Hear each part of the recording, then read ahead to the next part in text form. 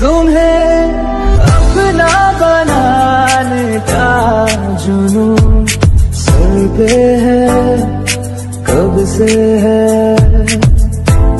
मुझे आदत बना